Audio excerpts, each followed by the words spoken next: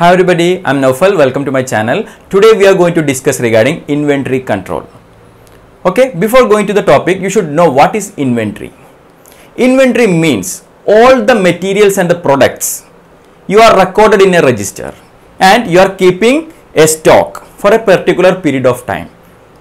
All the materials and all the products you are recording in a register and you are keeping it in stock for a particular period of time. It may be an organization or whatever it may be. You are maintaining a record and you are keeping in stock. That is inventory. Got it? Regarding the equipments, regarding the materials. Suppose in a hospital regarding the ventilator, regarding the oxygen cylinder or regarding the syringes or mask, whatever it may be. Okay? You are keeping a record and you are keeping in stock. That is inventory. So, what is mean by inventory control? Inventory control means you are keeping adequate number. You are keeping adequate number of stock so that the materials can be used whenever and wherever required. The materials wherever and whenever required you can be utilized. How? Keeping stock in adequate number. So, you can define inventory control as keeping adequate number of stocks or the materials. Okay? You are keeping adequate number of materials in stock. So that the materials can be utilized whenever and wherever required. Got it? So how to do inventory control? We can see that by the classification or the techniques of the inventory control you can do inventory control. Let's see the techniques of inventory control one by one. First one is ABC analysis, VED analysis, FSN analysis, SDE analysis, HML analysis, XYZ analysis and SOS analysis. Okay, by this analysis you can do inventory control. First one we can see ABC analysis. It is popularly known as always better control. ABC analysis means A item, B item and C item. The three categories of the item. Okay. A item means high amount and less quantity. Quantity will be very less but the cost of the product will be very high. Okay. The quantity will be very less. Suppose ventilator or MRI machines in number it is very less. Very few number of machines will be there in a hospital. But the cost of that product is very high. It will comes under a category. And b category means medium cost items and c category means low cost items. I will give the examples. The items and cost. Okay here the item and cost. Category A means item will be very few that is 10 percentage. The quantity is 10 percentage and the amount is 70.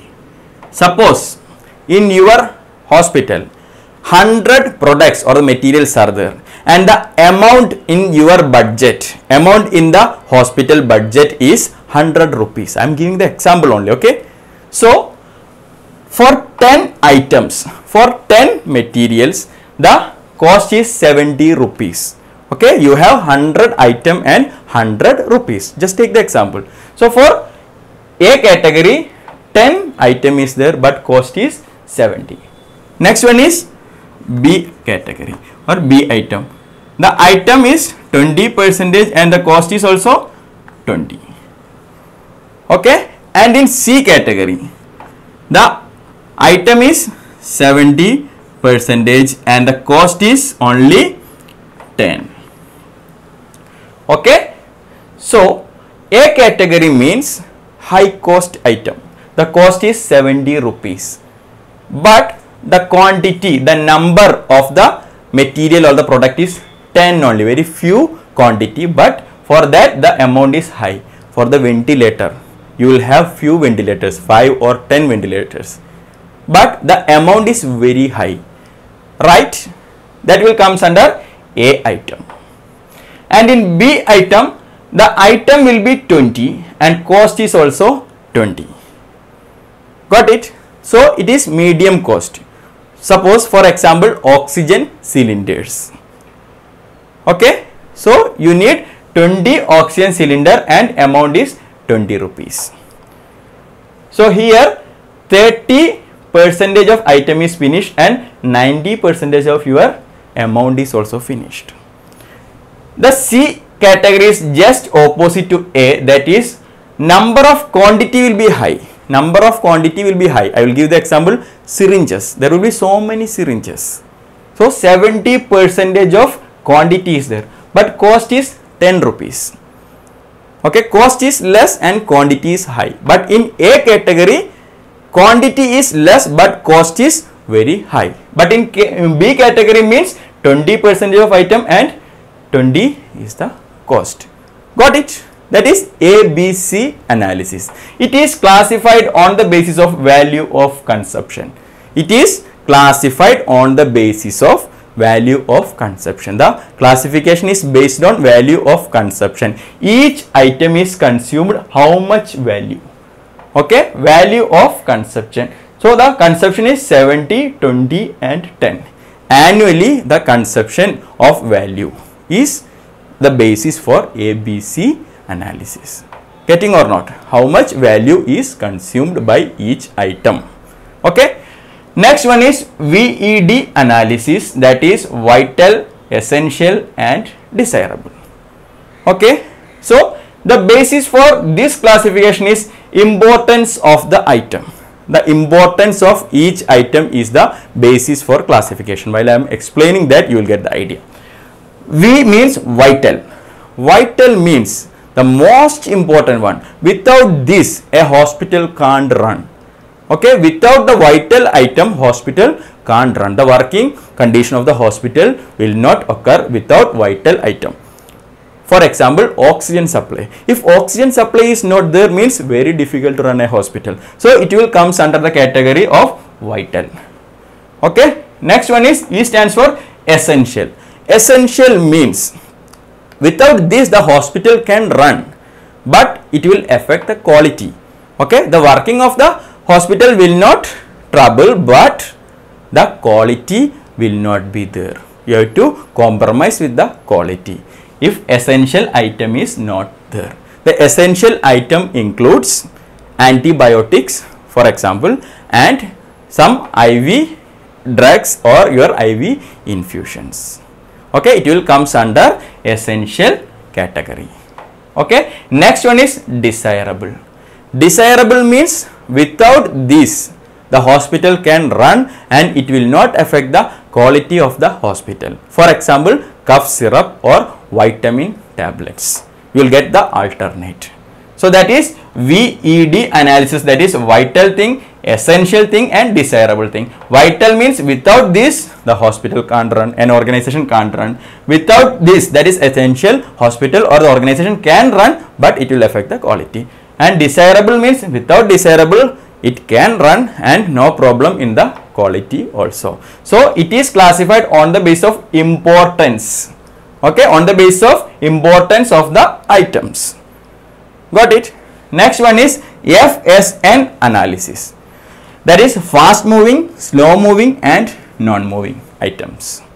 Fast moving item slow moving item and non moving item okay fast moving item means for example syringes. Every day you have to use syringe in the hospital. So it is fast moving.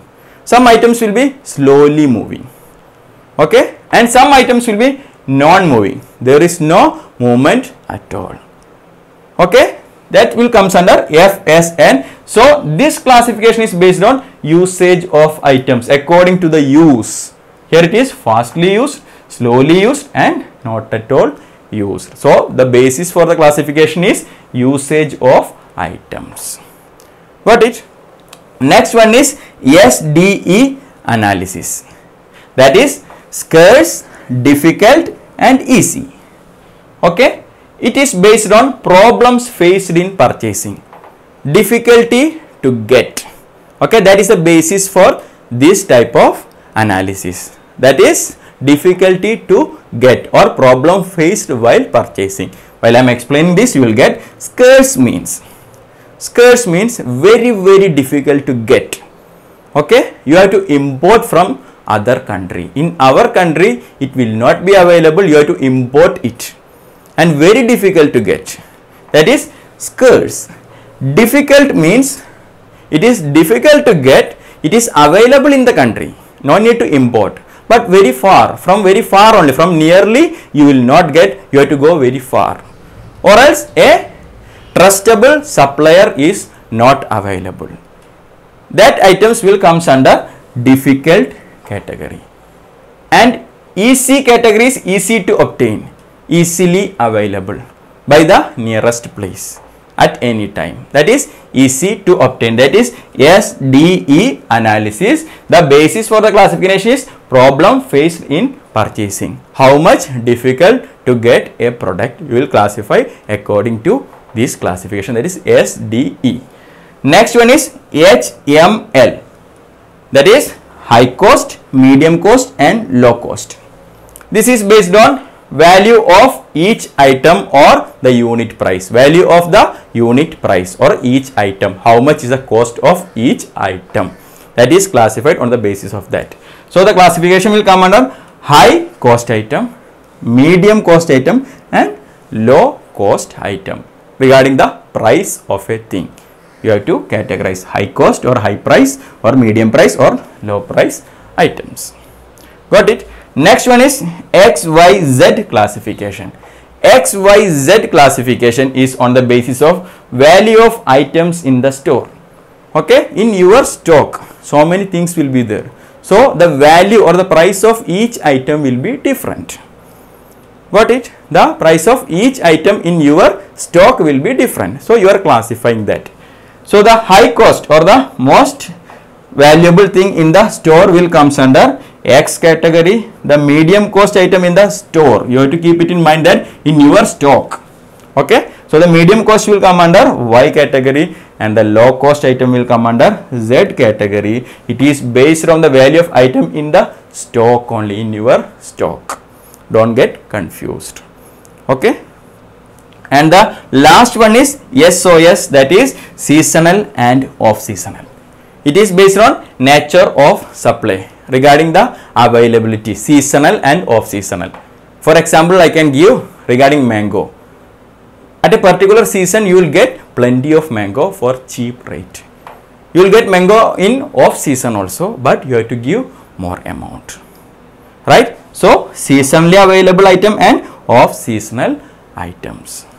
These are the classification or techniques of inventory control. So, you can see in SOS that when you are purchasing in a season the amount will be less. In off season you have to give more amount and also you have to classify in that also.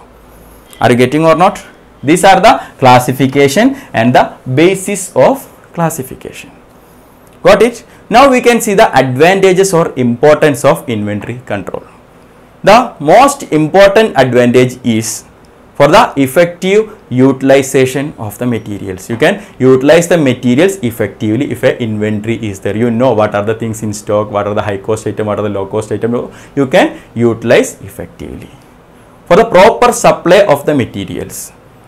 Next advantage is for the proper supply of the materials, inventory is very necessary. So, proper supply will occur. Next advantage is to avoid the uh, time gap and the wastage of time and delay. To avoid the delay as well as wastage of time is the next advantage. At the time you are getting properly stock is there no? You are maintaining adequate stock that is mean by inventory control no? You are maintaining adequate stock so you can avoid the delay. Got it? Next one to avoid the loss of a material. Every time you are checking no? You have stock, you have the register so, to avoid the loss of the material and to check the expiry, to avoid the expiry, effective utilization, you can utilize that. And the next advantage is to reduce the purchasing rate. In a bulk, if you are purchasing, the amount will be less. And for each thing you are going, you are utilizing your transport system, the amount will be more. So, together you are bringing means the cost of the transportation also will reduce. So, to reduce the purchasing price also inventory control is necessary. So that is also an advantage of inventory control. Okay? That's all regarding inventory control. We will meet soon with another video. Till that thank you and goodbye